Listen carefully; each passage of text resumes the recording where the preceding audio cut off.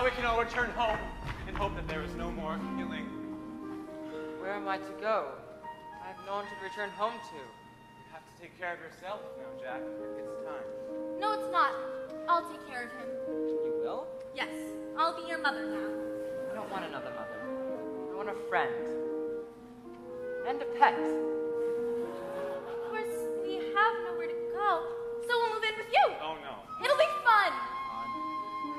house is a shambles, and I hardly have enough room for the two of you.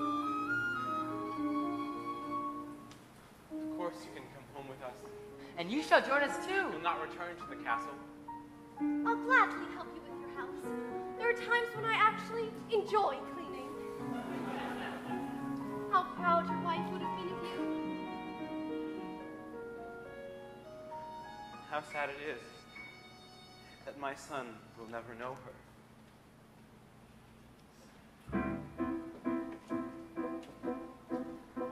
Maybe I just wasn't meant to have children. Don't say that. Of course you are meant to have children. How will I go about being a father with no one to mother my child? Just calm the child. Yes, calm the child. Look, tell him the story of how it all happened to be father and mother. You'll know what to do. Alone. Sometimes people leave you halfway through the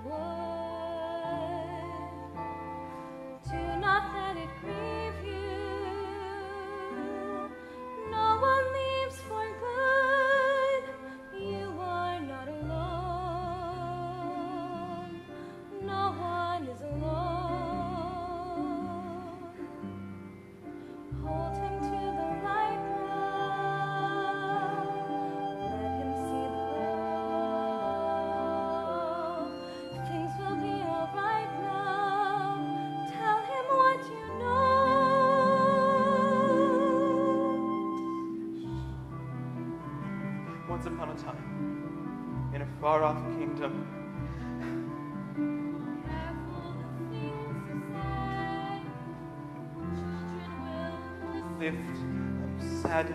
Careful the things you say. Children will listen.